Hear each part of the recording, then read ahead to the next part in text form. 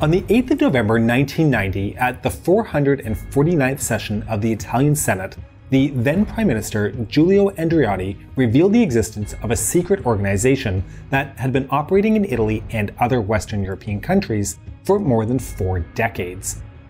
This is how the general public first heard about Operation Gladio.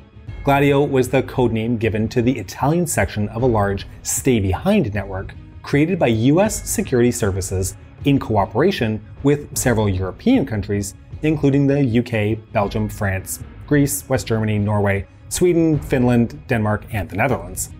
The purpose of this operation was to set up a covert network of elite fighting units. In case of an invasion of Western Europe by forces of the Communist bloc, these groups would immediately organize the resistance against the invaders by waging guerrilla war. I'm your host David, and this week we are going to look at the creation and plans for the US stay behind actions in the event of a Soviet attack in Europe. This is the Cold War.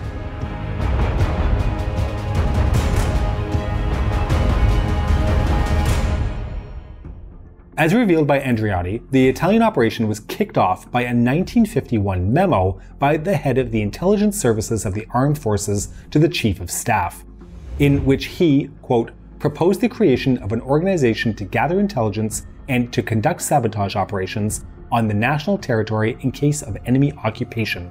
End quote. Andreotti admitted that at its height, Gladio could count on 622 operatives. The criteria for recruitment was physical fitness, appropriate military experience, loyalty to the Republic institutions, and their perceived ability to escape deportation or internment in case of a communist invasion. Selected operatives were trained in a secret facility near the seaside town of Alghero, Sardinia. Alghero boasts sandy beaches with clear waters, stunning medieval churches, great food, and an average high of 14 degrees Celsius in February. You can actually sign me up for that anytime. But anyway, Gladio personnel were trained in guerrilla tactics and exfiltration techniques. They were then assigned to posts in northeastern Italy regions most likely to be invaded first. There, they had access to 139 secret weapons caches to be used also as rallying points to recruit a more sizable resistance force after the invasion. Now, although the Italian Gladio was the first NATO sponsored clandestine army to be revealed, hence why the name stuck with the general public, becoming synonymous with the whole operation, it actually wasn't the first to be created. The 1951 memo I referenced also clarified that similar stay behind networks had already been readied in other Allied countries. However, Italy does boast some interesting dry runs for the full operation. But you know what? Before I get there, let's trace the precedents that inspired the creation of Gladio. The stay behind model was similar to the resistance and partisan organizations that had fought against the Axis in the Second World War but with an important difference regarding supplies. The French resistance, as an example, had to rely on Allied paradrops or stealing weapons from the German occupiers. In the case of Gladio, however, NATO believed it safer to create an advanced secret weapons cache, ensuring their units would be well supplied from the get go. The other difference is that partisan fighting units in the Second World War traditionally only originated after a country had been invaded by the Axis. There's one notable example, however, of a resistance movement that was pre planned and which may have served as a model for future stay behind networks. Back in July 1940, the German High Command formulated the first plans for Operation Felix, the capture of Gibraltar. The plan was led by Admiral Wilhelm Canaris, the head of the Abwehr, the secret service of the German military. The plan involved German troops entering Spain from the French border and then seizing Gibraltar from the north. Now, Canaris and his organization were known to oppose the Nazi regime, and therefore the admiral may have alerted the Allies to Operation Felix. The British Secret Service then launched an ambitious counter operation to create a stay behind network in Spain. Should the German army cross the Iberian Peninsula to take Gibraltar, they would be harassed by guerrilla units composed of anti Francoist elements, trained and armed by the Allies. The name of the operation, by the way? GoldenEye. And the main coordinator on the ground?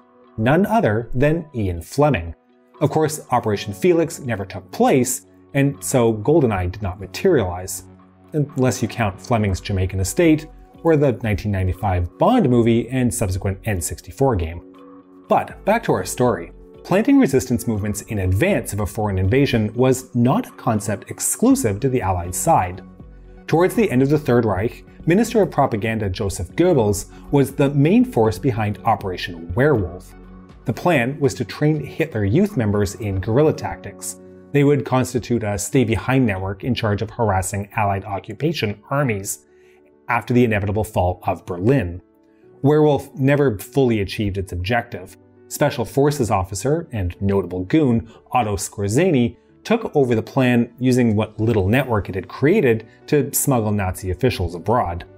On the other hand, the NKVD learned about the plan and used it as a justification to execute about 5,000 Hitler Youth members, all under the age of 17.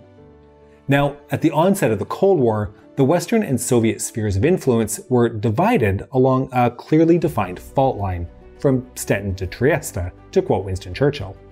As we explored in our earlier special about Italy, this country was in a rather unique position, occupied by the Western Allies, but home to a strong communist party with access to both weapons and an intelligence network. A communist uprising supported by a Soviet invasion was a concrete possibility and taken very seriously by the US occupation army. On the 14th of January 1947, Special Agent Nicholas Natsios of the US CIC the Counterintelligence Corps, received a visit from one Giancarlo Luzzatto, codenamed Scorpion. Luzzatto claimed to have been an OSS informant and courier in 1944 and 1945. The Scorpion asked Natsios for details about the RAC, of which Natsios knew nothing about. According to the Italian informant, the RAC was a covert intervention group composed of elements of US Army to be used in an emergency against communist revolutionary action. The report also mentions another group. The Scorpion claimed to be a member of the Italian Liberation Army, or AIL, Armata Italiana di Liberazione. At its peak, the AIL could rely on 120,000 members, mainly current or former armed forces personnel with a nationalist, neo fascist, and anti communist agenda. Their aim was to stage a counter-insurrection in case of communist takeover of the country, and alongside other smaller neo-fascist groups, it enjoyed close supervision from the head of the CIC in Italy. Now, a report of the Italian police, dated the 16th of September 1946, states that the members of such organizations are in constant contact with American authorities, which have confirmed their support to the movement. US support to a former fascist military was not news in the autumn of 1946. As early as May of the same year, the OSS had allegedly facilitated the evasion of commandos of the 10th Flotilla MAS from a POW camp in Taranto, southern Italy. The MAS were the special forces of the Royal Italian Navy, protagonists of daring raids against Allied shipping in the Second World War. Even as early as April 1945, the OSS had helped their commander, Prince Junio Valerio Borghese escape capture by disguising him as an American officer. The overall intent was to maintain MAS operatives as potential anti communist assets. These dangerous liaisons between the OSS, the CIC, and neo fascists are well documented, although they are not conclusive proof that they constituted the first formal incarnations of the Italian Gladio. The onset of clandestine networks in other European countries is thankfully more clear cut and allows to trace the progress of the whole operation. Since the end of 1944, the British and US governments were aligned on the importance of keeping Western Europe free of communism. They considered exploiting the experience and strategies of the SOE, the Special Operations Executive, to start planning clandestine networks in Western Europe. The first major operations were set up in Britain and France in 1948 and 1949. British Secret Services had created a facility in Fort Monckton, Portsmouth, to train the operatives of clandestine organizations in Norway, Denmark, the Netherlands, and Belgium. At the beginning of the following year, the head of the British SIS, Sir Stewart Menzies, created the WUCC, Western Union Clandestine Committee, based in France with the aim to coordinate secret unorthodox warfare. With the creation of NATO in April of that year, the WUCC was merged into the military alliance and renamed the Clandestine Planning Committee. Now, despite the stay behind operation being an integral part of NATO, it soon expanded to include neutral countries. This came under the initiative of CIA agent William Colby, based at the agency station in Stockholm. Colby initiated the creation and training of clandestine armies in neutral Sweden and Finland, as well as NATO members Norway and Denmark. One key theater of the Cold War was, of course, West Germany. This territory was home to its own stay behind army, the Bund Deutscher Jugend, or BDJ, and more specifically, its paramilitary organization, the Technischer Dienst, the TD. The founder of the BDJ was Dr. Paul Lueth, author of the 1980s of Health Through Vitamin C, but in the 1950s, he was interested in other pursuits.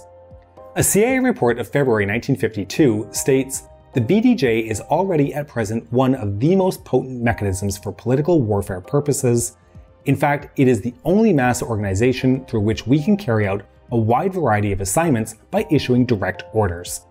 The BDJ included among its ranks several former Wehrmacht and Waffen SS officers. One of them, Hans Otto, revealed the existence of the organization to the Frankfurt police. In the subsequent raid of BDJ premises, police found evidence that the organization had been receiving a monthly subsidy of about 50,000 US dollars from US intelligence services. A later CIA report in April 1953 summarizes a white paper on the BDJ and the TD issued by the Western German Social Democratic Party, or SPD. The SPD claims that the true aims of Dr. Lueth's organization lay in domestic political goals, in other words, subverting the democratic government in favor of a more authoritarian regime. Okay, we'll now go back to the beginning of our story, the speech by Italian Prime Minister Andreotti. His big reveal did not actually come out of the blue. It was spurred by an ongoing investigation which was trying to shed light on an event that had taken place in 1972. This was the assassination by bomb of three Carabinieri, Italian gendarmerie officers, on the 31st of May. The inquiry, led by magistrate Felice Casson, identified the perpetrator as a right wing terrorist, Vincenzo Vinciguerra. According to Casson, the explosives used came from one of the Gladio weapons caches.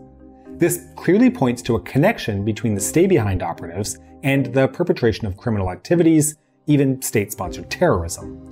Almost immediately after Andreotti had finished his speech, senators from the opposition expressed their suspicions that Gladio, in the absence of an external invasion, may have been used to achieve internal policy goals.